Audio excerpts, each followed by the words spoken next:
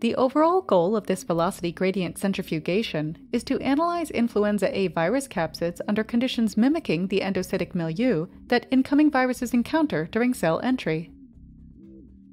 This method can help answer key questions about how influenza A virus capsids disassemble during uh, cell entry, such as the specific effect of mildly acidic pH on capsid stability.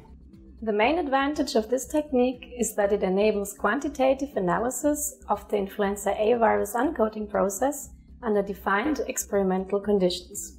Besides providing insights into how influenza A virus uncoating is initiated, this method can also be applied to the study of other enveloped viruses with related uncoating mechanisms.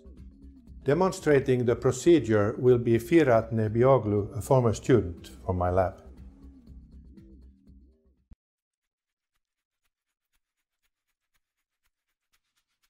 After preparing stock buffers and reagents according to the text protocol, for each pH condition to test, prepare detergent buffer master mix by mixing 9 ml of 1 molar sodium chloride, 6 ml of 10% NP40, 2.4 milliliters of the 25X protease inhibitor stock, and 9 milliliters of doubly distilled water.